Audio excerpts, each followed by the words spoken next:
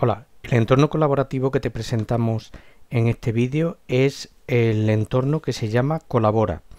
Colabora es un entorno educativo que eh, la Consejería de Educación de la Junta de Andalucía pone a disposición del profesorado de la región. Este entorno colaborativo, el acceso al mismo se hace a través del usuario y contraseña que tenemos el profesorado de la Junta de Andalucía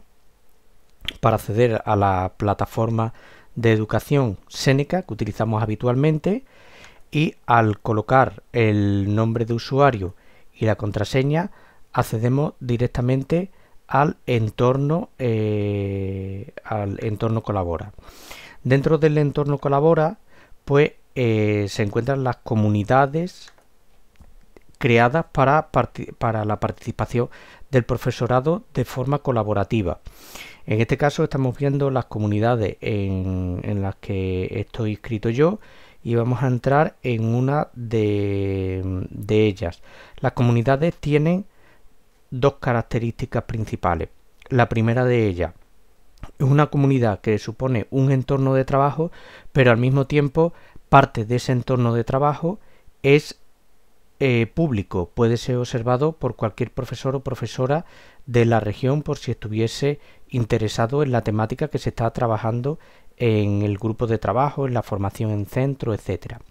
Esta es la parte que es pública y que estaría a disposición de todo el profesorado y que describe pues la eh, qué objetivo eh, persigue el grupo, un resumen de los contenidos que tiene y quienes están participando en ese grupo de trabajo.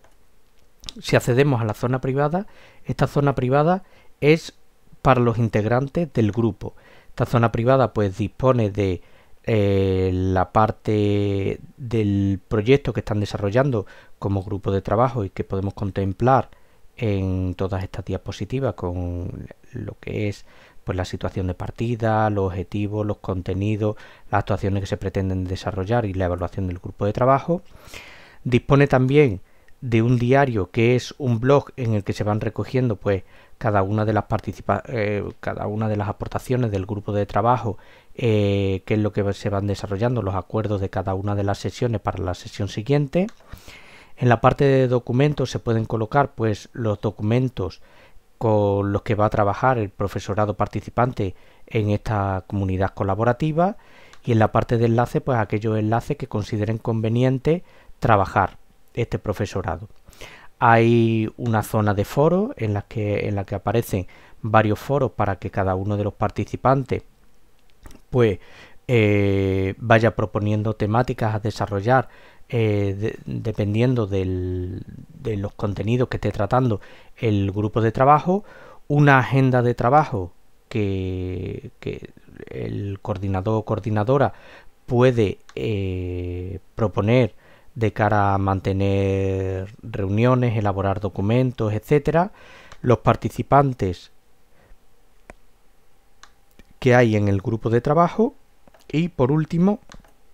los movimientos que son los últimos movimientos que ha hecho cada uno de los participantes del grupo de trabajo, donde podemos ver en cada, cada uno de ellos en qué foro ha participado, qué documentos ha colocado, eh, si ha hecho entradas en, en el diario, etcétera, etcétera. La verdad es que la comunidad es bastante interesante por todas las herramientas que pone a disposición del, del profesorado, es sencilla de utilizar, tiene herramientas más que suficientes para que un grupo de trabajo, por muy disperso que sea el profesorado de ese grupo de trabajo, pues pueda estar mm, trabajando sobre una temática en común y saquen acuerdos sobre determinados documentos o material que estén elaborando en ese momento y además dispone de un entorno que para el, el